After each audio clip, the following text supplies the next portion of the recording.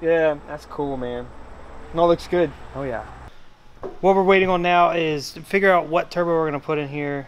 It's not terrible. Not terrible, but You can see some color in the light. yeah. it's a wee bit nasty. So uh, we need to change out the tension arms on this bad girl.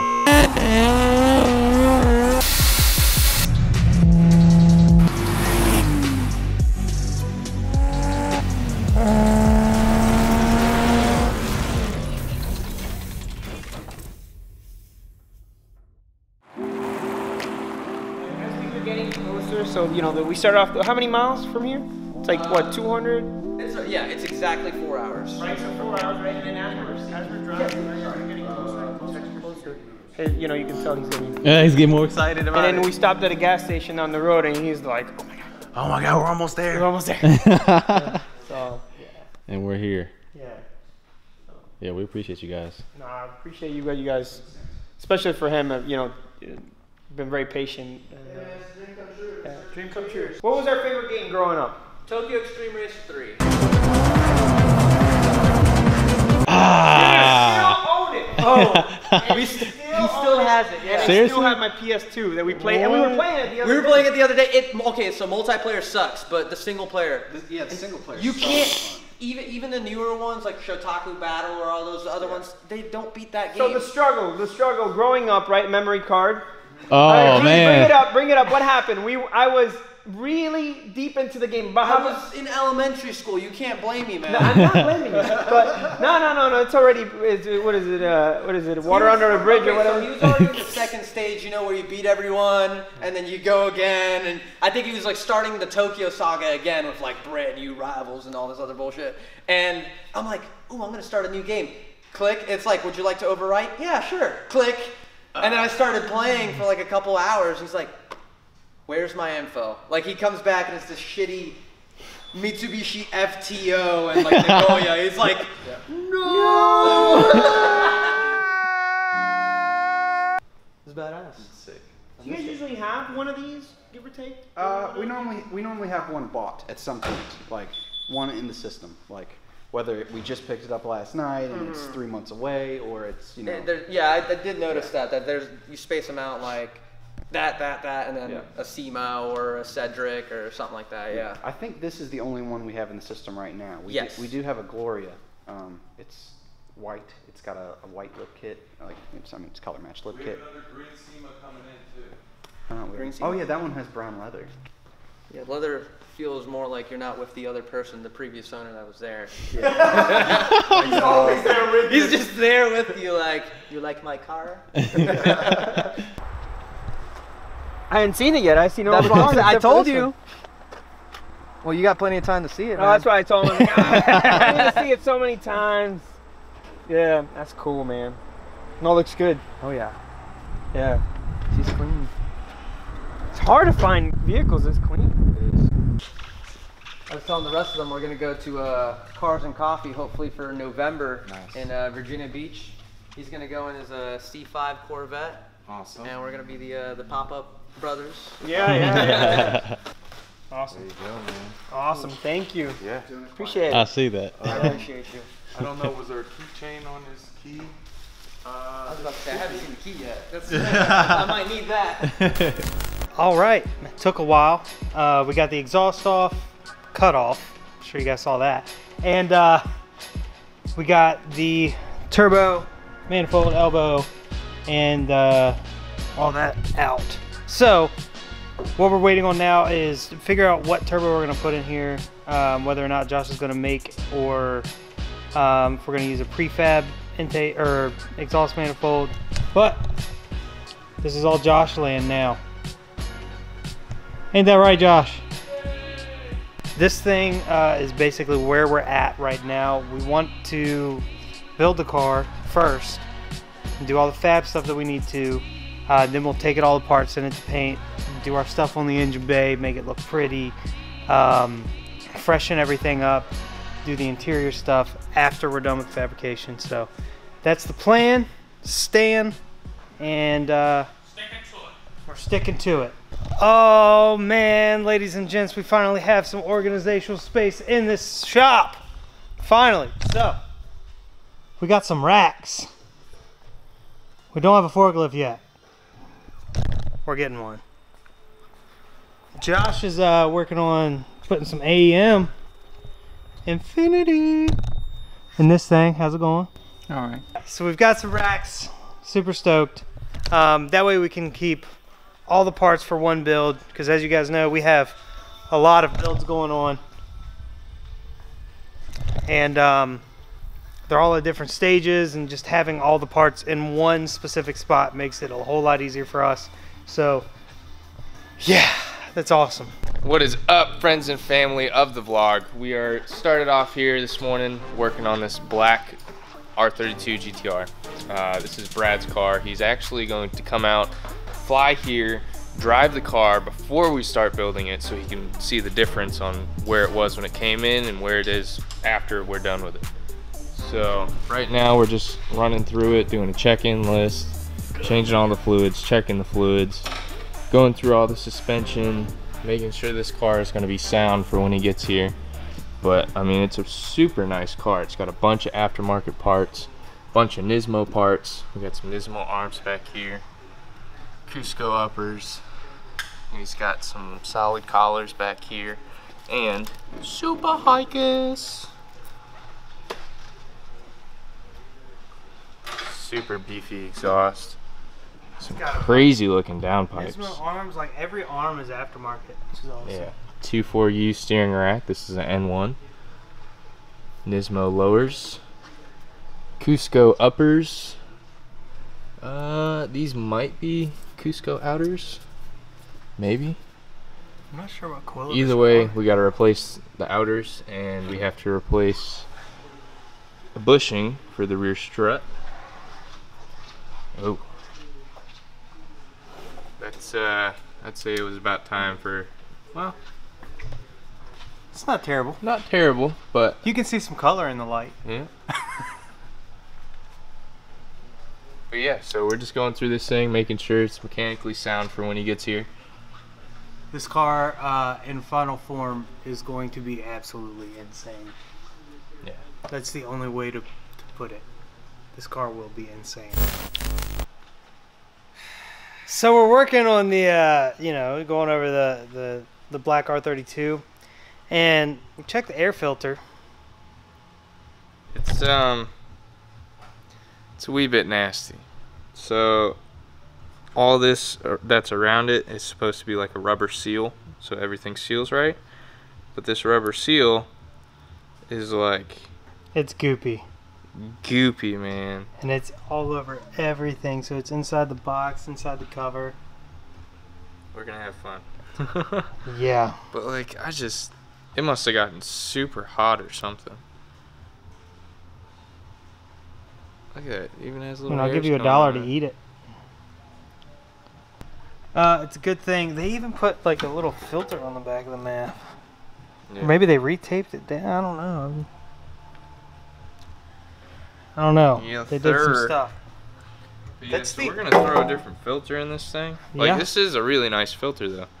It's It got is. the metal all around the outside, the metal mesh for the fins. But like this is no bueno. There's no happen.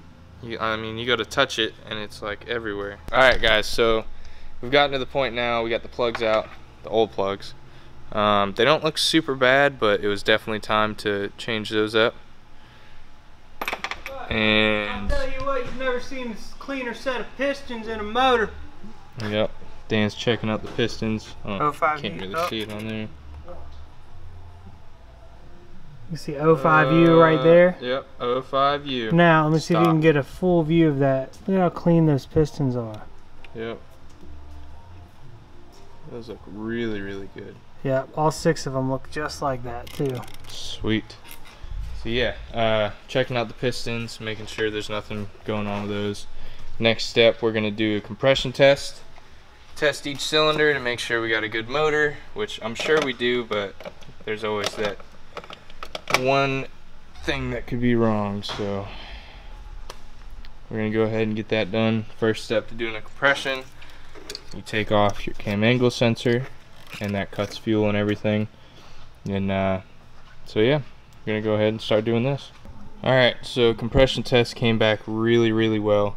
Uh, numbers right here 169 169 171 170 174 169 so those are really good numbers and we don't have to worry about this motor being bad.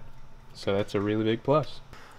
So fuel filters are a very important key to having a good running vehicle.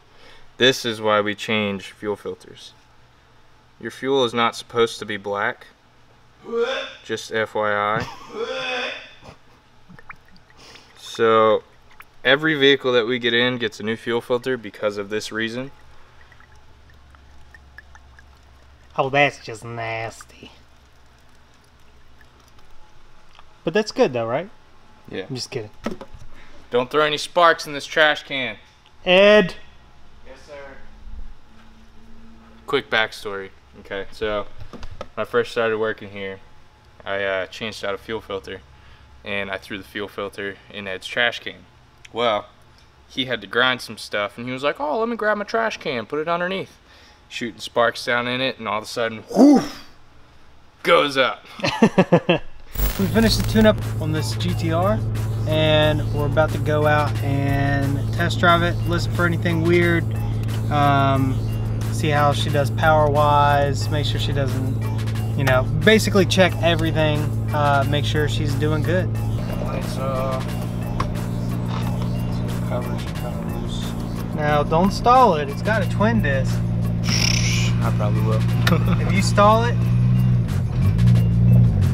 mad because I gotta get out and freaking jump this thing again. Yeah, I know. Adjustment mirrors. Got some pretty rad little visor screens up here. They're actually see-through. Yeah, because you know, once you go full race car, put a cage in. You can't get regular wipers oh, there. Oh, my bad. I hit the wrong switch.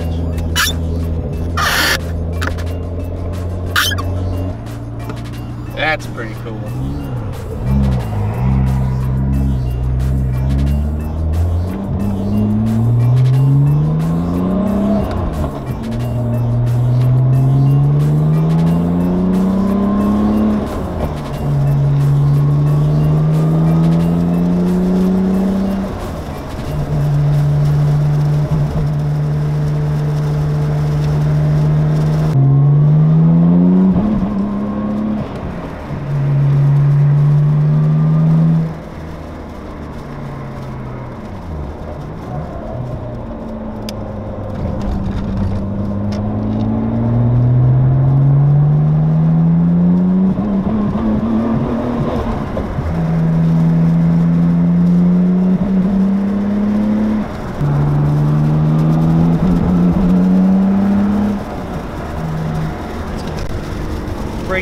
Real good.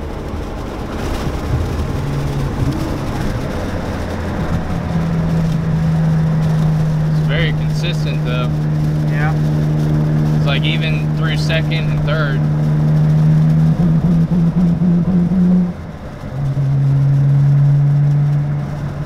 So our assumption is the battery is just way too dead. Um, so we've got a jump pack. We're gonna we're gonna hook it up to it constantly and see if uh, it gets in into uh, boost.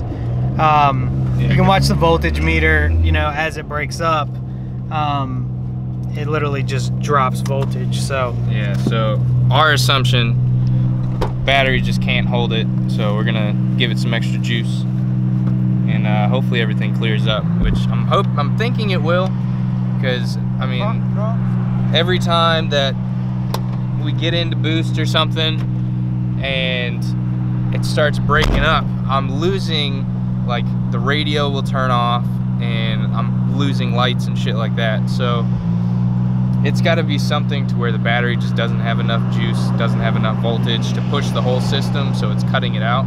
Which, I mean, that's a common problem with these things. They sit for so long at port, and I mean, you don't know if they left a light on or how dead the battery actually is.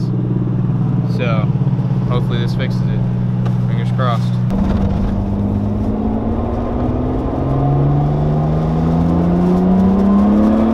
ta-da! Fixed it. Yo, this thing is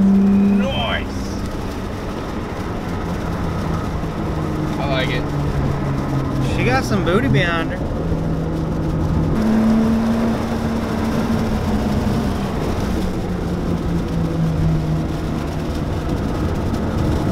I dig it. This thing is nice, man.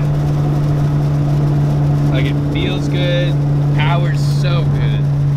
Like it's not super quick, but it's enough to where you can like. Oh, okay. It's got that RB26 torque. Yeah. Is that a 33? Oh, the Malibu 33, what? It's definitely by far the coolest part of our jobs. Yeah, that and shooting videos. Yeah.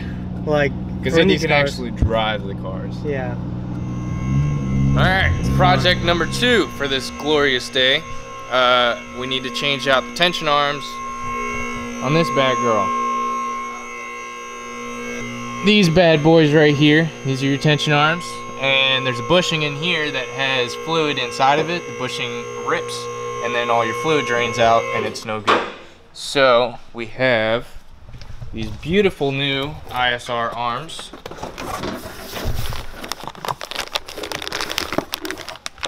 to go on it. So we're gonna take out these and put uh, these right there and uh, get alignment and we be good to go. So I'm gonna show you guys what all comes with this. Course we have our fancy dancy tension arms. If I can get these open. Tension arms. So this is gonna go into the subframe and then this is gonna mount to the lower controller. And we got some new hardware. These are the bolts that go down into the lower control arm, just like that. Pretty much factory, so the alignment's not way off. And uh, then we'll get an alignment on it. This is what we're looking at. Uh, come on, focus, baby. So all those cracks that are in that bushing, uh, after time they will wear out and the fluid that's inside of this will start leaking out. That's why we need to replace it.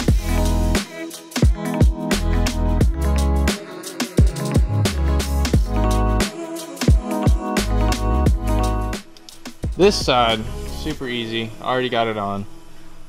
This side, however, the bolt that goes through, you can see it right there, uh, is hitting the compressor for the AC before we can even get it out. So what we have to do is take the belt off on the front and move the compressor out of the way so we can get this bolt out so we can change out the arm and then put the compressor back in, hook the belt back up. But yeah, Yep, that's where we are. So let me tell you what had happened. What are you doing, man? So let me tell you what had happened. Unless we were to take the entire AC system out, we were never going to get this bolt out. So our boss, i.e. Ed, Ed said, cut the bolt, put another one in it. So, following orders.